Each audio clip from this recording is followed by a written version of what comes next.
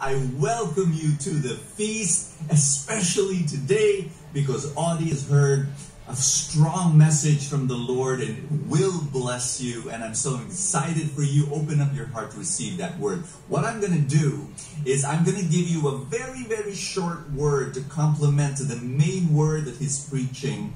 And my word is like a preparation to what he's going to preach. I'm going to be talking about a question that people ask me a lot. You know, Brother Bo, how can I find meaning and purpose and happiness in my life? You seem to be such a happy person. And I say, yes. And then they ask me, why?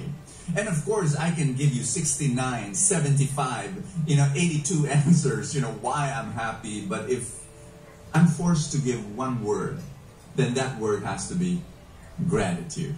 You know, gratitude, this, this is the secret to to everything. I, I really believe that. When you understand, you know, gratitude takes humility. Gratitude um, takes faith. Gratitude takes trust. Gra- gratitude, it's, it's, it's amazing. Now, what should you be thankful for?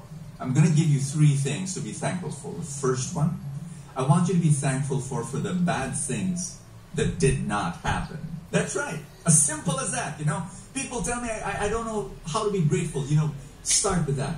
You know, that you woke up in the morning. You know, a lot of people slept last night and did not wake up that morning. You did. Thank God. Three people die every second.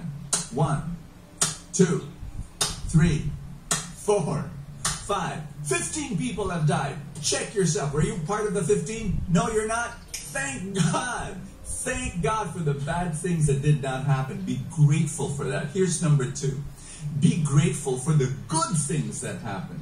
And it doesn't have to be very big. In fact, the smaller things that you be grateful for, the better because those are the things that you take for granted. I mean, the big things, you know, you got a promotion. Thank God, God is so good. Your kid graduated. Oh, hallelujah. You know, but how about the small things?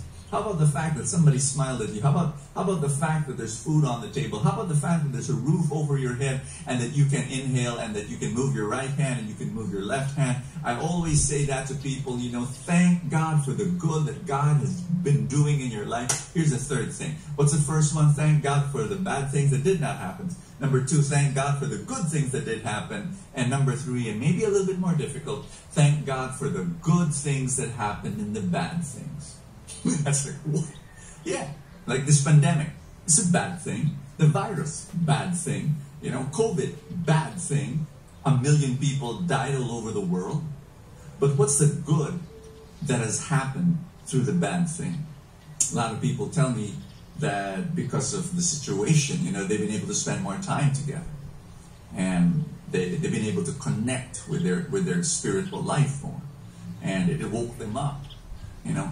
There are good things that happen even in the bad. And I want you to be grateful for that. All of this leads to Audie's message. And so I pray for you that you receive that word and that it changes you and that it will bless you and your family. God bless you. Thank you so much.